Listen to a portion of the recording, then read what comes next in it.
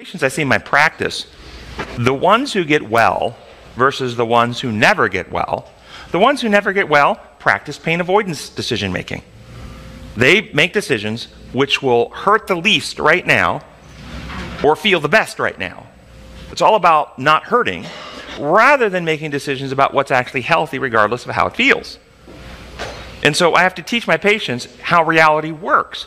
Once there is brokenness of any kind, there are no pain free options. None. You have a broken leg? And you won't let them touch it. It hurts too bad. They can't splint it. They can't put a pin in it. You won't let them do. You won't let them touch it because it hurts. And to move it really hurts worse for a short period of time. So you make you, make, you won't let them touch it. You don't avoid pain. You're chronically in pain and you're chronically disabled. You let them splint it. You let them pin it. You go to physical therapy. There is pain in the process. But because it's all working in harmony with restoring, notice doctors are always working to restore people back to design, to design law. Doctors don't get people well in violations of the laws of health. They're working to put people in harmony with the laws of health.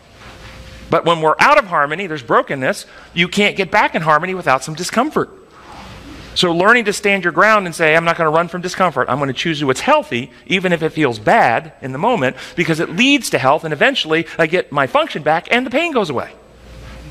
This is why we rejoice in our trials and tribulations, because the trials and tribulations bring character, help build care, patience, and, and it helps build character. We can't have a healed heart unless we're willing to carry the cross, to be crucified to self. Christ suffered in his flesh. Arm yourself with the same attitude, for those who suffer in the flesh are done with sin.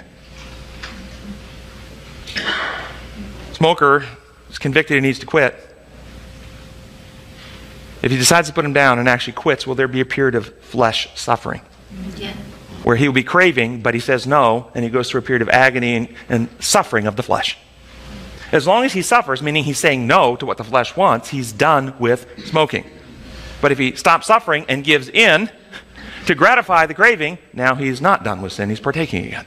This is a metaphor. This is true. We will be tempted with insecurities and fears and self centeredness. And when they come, in the process of, through our relationship with Jesus Christ, overcoming those temptations, there is a period of agony. And you see this through Scripture. Look in Jacob's night of trouble. When did Jacob finally get his victory? It was the night in which he wrestled with the angel. That whole time he was God was working with him, but he still hadn't had the victory. And so it says he wrestled uh, how, exactly how the language goes. Um, but he wrestled with the angel. Okay, it wasn't wrestling against the angel, which most people think. The angel and him were wrestling with. It's like they were tag team together, wrestling with the angel against his own fear and selfishness.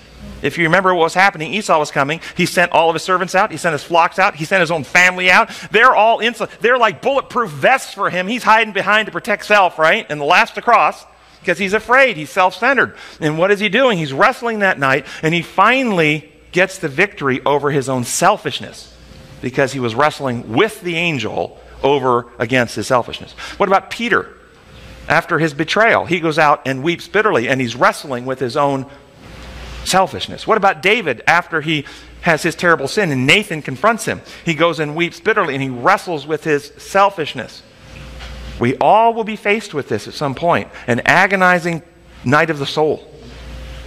And we either, with our relation with Jesus Christ, face it, die to self, and experience the rebirth, or we run from it like Judas.